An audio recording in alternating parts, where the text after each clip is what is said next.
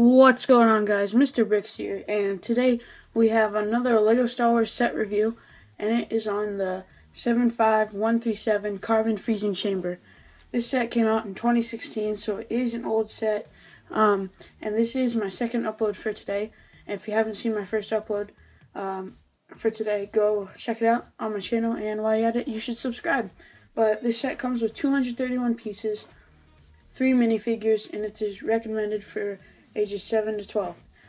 Looking at the set, it retailed for $25 in the United States. Um, I picked this up at Target last year.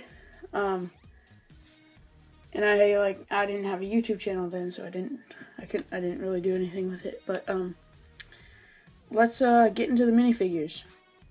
First minifigure we have up is Boba Fett. Boba Fett is a classic character from the Star Wars Episode 5 and 6 and Clone Wars and uh, prequels. Um, but this is his Episode 5 version. Um, as you can see, he has the respected torso printing, and uh, it's pretty spot on to the movie, um, as long as the legs. His, uh, this is a great minifig, just so you know, this is such a good fig to have. It's a cheap set to get Boba Fett in, and I did not have an old one. Um, so this is a fine addition to my collection, as General Grievous would say. His EE3 or E33, uh, however you want to say it, his blaster um, is just a small pistol and a black lightsaber rod attached on the end. Um, he has no arm printing um, or leg printing, or side leg printing is, I think, um, because which is kind of sad because the old older versions of this did have arm printing, especially the old 2003 or 4 or 2 um, Boba Fett that came in the super rare Cloud City set. Um, but that set is very rare. I do not have another Boba Fett, so this is a very good uh, collection item. Um, as you can see, he has a side like arm uh, bandana thing, um, cape, uh, arm cape. He also has a jetpack and his helmet. It's great, great mold. It's like the Mandalorian helmets from the Battle Pack, and um, it also has the respected printing with all the dinged up marks from Cad Bane right there, and he has a rangefinder, so that's always good to get. And uh, under the head is sadly just a clone face, um, an angry clone face. Um, you know, in the older ones, he had a respected head in like the UCS Slave one, but I sadly do not have that set. Um, and this is his back printing right there. The next minifigure up is an Ugnaught, and the Ugnaughts are those little weird creatures in in Bespin that control the um, the carbon freezing chamber. Um, this is a never for before I seen fig. Um, they never made one of these in the old Cloud City set. Um, so it's a brand new fig. It has torso printing, which is an overalls and small leg printing because they're kind of short, and a special mold for the head, um, and weird arm hand choices. It does not really match his skin tone. Um, here's a 360 view of him. As you can see, there's more back printing, and um, that's basically all there is for the Ugnaught. Uh, great fig. Third and final minifig for this set is Han Solo without his uh, jacket um, with wrinkled skin. Um, this is a great fig. Um, looking up at his face, he does not have the new um, hair that came in the 2016 Death Star, but um, that's unfortunate. But his first face, he comes with two faces. Um, this one's like a worried look.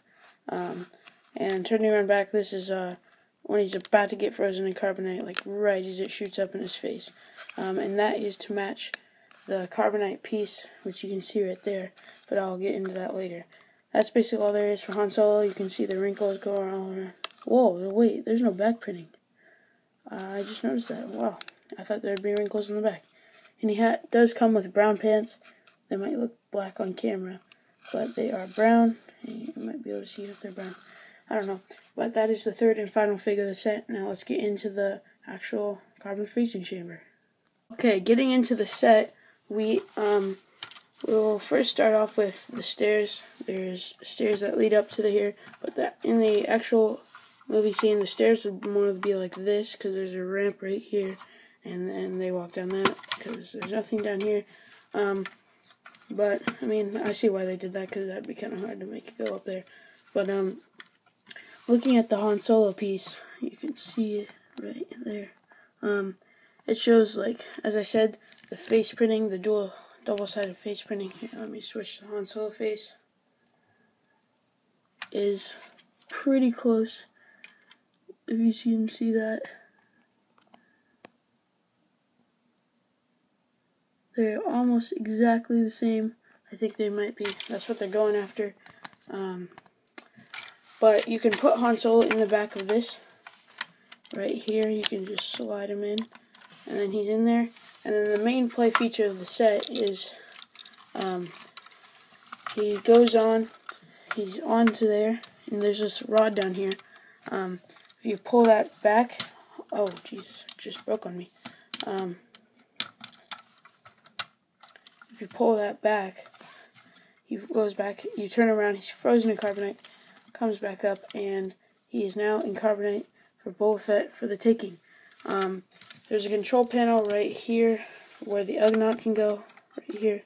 You can just set them up um, on the control panel. And then you can have Boba Fett come up the stairs and take his reward to Jabba.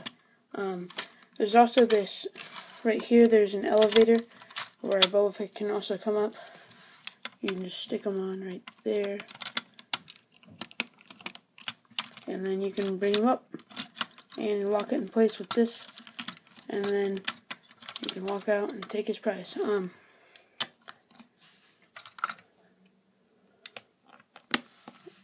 doing a 360 the set, you can see that there is not a complete full circle as there is in the movie. Um, there's more inner workings. And right here, I'm actually not really sure what this is for down here. Um, down right here. Right in this corner. I think you can put um your you could put Han Solo right here, and then you can sit him there. You can sit him in there, and you can you actually you're supposed to lay him down, and then you can turn him up, and then he's hidden from the environment and you can turn the thing back in, and there we have it. There's a complete carbon freezing set. Um, I want to thank you all for watching. Please like and subscribe, and uh, check out my other reviews, um, and subscribe to my channel. Uh, it's Mr. Brickz. Um, yeah, peace out. Follow my Instagram.